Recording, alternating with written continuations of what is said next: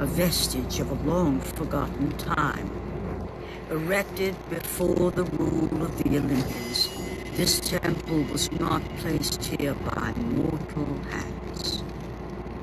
Within its walls lay a passage to the domain